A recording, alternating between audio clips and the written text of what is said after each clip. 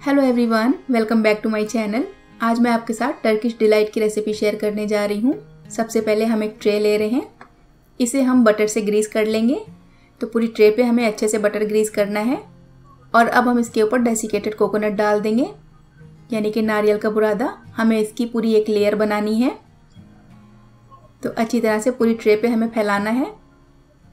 फिर इसे फ्लैट कटोरी या ग्लास से हम इवनली सेट कर लेंगे। हमने यहाँ पे मेजरिंग कप ले लिया है। इस तरह से इवनली सेट करना है।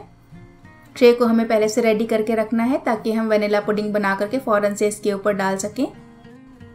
वनीला पुडिंग बनाने के लिए हमने एक पैन ले लिया है। इसमें हम ऐड कर रहे हैं टू कप मिल्क इसी के साथ ऐड करेंगे टू टेबल स्पून शुगर चूल्हे को हमने मीडियम हीट पे ऑन कर दिया है। इसमें एक बॉयल आने का वेट करेंगे। शुगर को हम अच्छे से मिक्स कर लेंगे।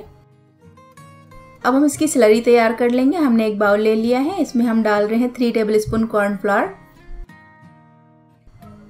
three tablespoon milk powder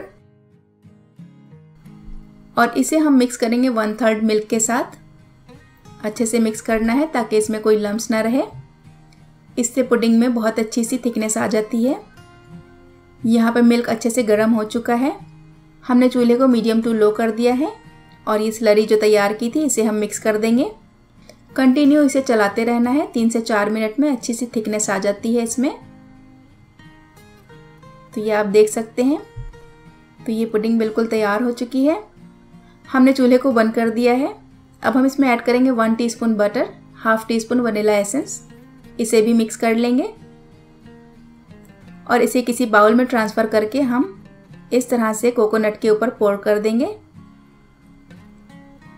और अब हमें इसको फ़ौरन से सेट करना है। ये बहुत जल्दी गाढ़ी हो जाती है। आप इसे सेट करने के लिए कोई भी फ्लैट स्पून ले सकते हैं। मैं यहाँ पे स्क्रपर की मदद से सेट कर रही हूँ। और इसे ठंडा करने के लिए 10 से 15 मिनट के लिए रख देंगे। आप चाहें तो इसे फ्रिज में भी रख सकते हैं। अब हम इसके लिए आइसिंग तैयार कर लेंगे। तो हम three fourth cup heavy whipping cream ले रहे हैं। इसके साथ ऐड करेंगे one tablespoon powder sugar, half teaspoon vanilla essence और हम इसे इलेक्ट्रिक बीटर से मिक्स करेंगे। इससे तीन से चार मिनट में बहुत अच्छे से सेट हो जाती है। ये देखिए क्रीम तीन से चार मिनट में बहुत अच्छे से सेट हो गई है। और अब हम इसमें कलर ऐड करेंगे। हम यहाँ पे ग्रीन कलर ले रहे हैं। तो तीन से चार ड्रॉप हमें डालना है। आपके पास कोई भी कलर अवेलेबल हो, आप डाल सकते हैं या इसे स्किप भी कर सकते हैं। क्रीम बिल्कुल सेट हो चुकी है। अब हम इसे पाइपिंग बैग में फिल कर लेंगे। इससे क्रीम को लगाना बहुत ही इजी हो जाता है। तो मैंने यहाँ पे पाइपिंग बैग सेट कर लिया है। और आगे से हमने बड़ा सा कट लगा लिया है। तो इस तरह से हमें वेनिला पुडिंग जो हमने ट्रे पे सेट की थी, उसके ऊपर हम आइसिंग को इस तरह से सेट कर देंगे। इससे इवनली सेट हो जाती है। ये रोल बहुत ही मज़ेदार बनते हैं। ठंडे ठंडे आप इसको सर्व करें। क्रीम को सेट करने के बाद हम इसके ऊपर थोड़ा सा कोकोनट स्प्रिंकल कर रहे हैं। कोकोनट का टेस्ट इसमें बहुत ही मज़ेदार लगता है। तो इसको हम इस तरह से कट लगा लेंगे। आपको जितने बड़े पीस भी बनाने हो, उतने बड़े कट लगा सकते हैं। और एक साइड से हमें बहुत ही केयरफुली इसके रोल निकालने हैं।